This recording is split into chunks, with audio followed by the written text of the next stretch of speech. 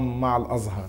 لكن في المحصلة النهائية ذهبت إلى شيخ الأزهر الشيخ أحمد الطيب منذ أيام قليلة. والبعض كتب إنه هذا اللقاء بمثابة اعتذار أنك ذهبت لتعتذر إليه وإنه ده تم آه، انطلاقا من تكليف من رئيس الحكومة المهندس إبراهيم محلب. هل هذا صحيح؟ على الإطلاق خطأ. خطأ؟ خطأ على الإطلاق.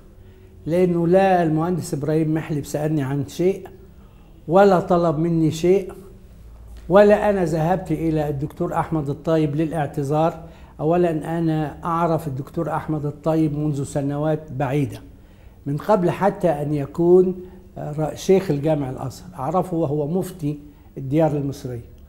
وأنا على علاقة وثيقة به جدا وعلاقتنا فيها كثير من الأخوة.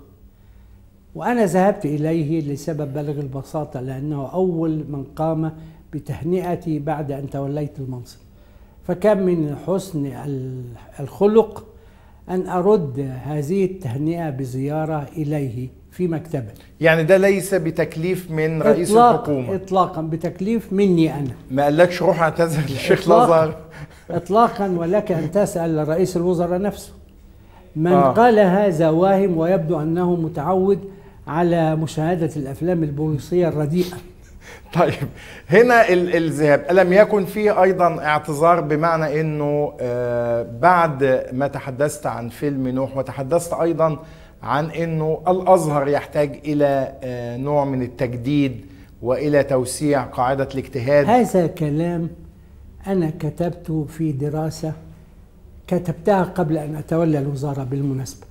هذا كلام أنا كتبته في دراسة منشورة في الأهرام بعنوان صراع الخطابات الدينية في مصر.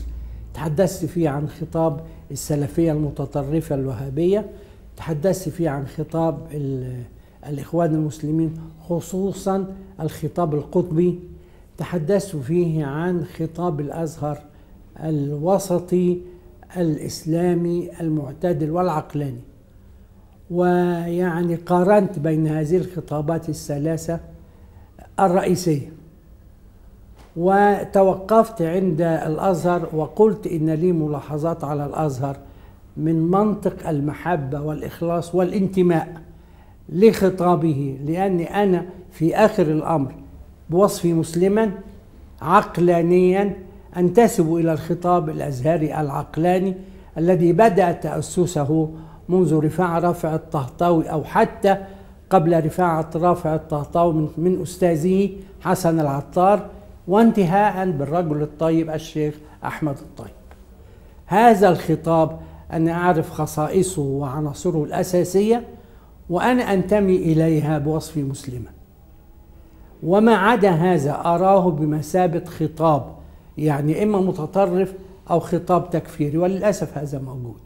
يعني آه. أنت لو خطبت لو قارنت بين خطاب الشيخ أحمد الطيب مثلا وبين خطاب ياسر برهان مثلا.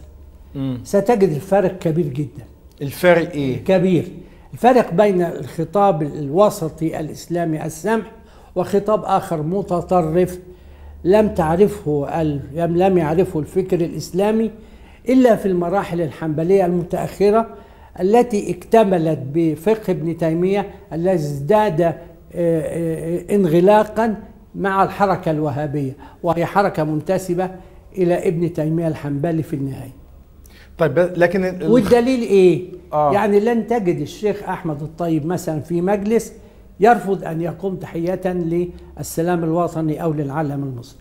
مش ممكن.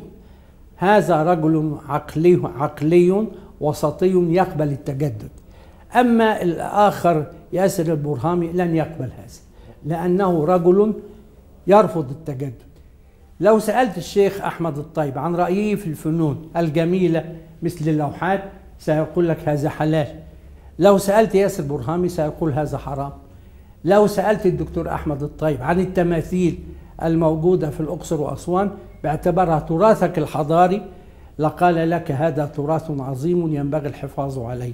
لو سألت البرهانية وغيره من السلفيين لقالوا لا لا هذه هذه تماثيل وثنية شايف الفرق قد إيه؟ هذا. آه. هو الفرق. طيب لكن الاثنين إلى أي خطاب أنتمي أنا وأنت؟ الإجابة سهلة. إلى أي خطاب إلى أي خطاب؟ الخطاب الوسطي المعتدل. الوسطي الازهري المعتدل الذي يصونه ويحميه الازهر ونحن معه في ذلك. وعلينا إذا رأيناه ضيق علينا في مسألة من المسائل قابلة للاجتهاد أن نناقشها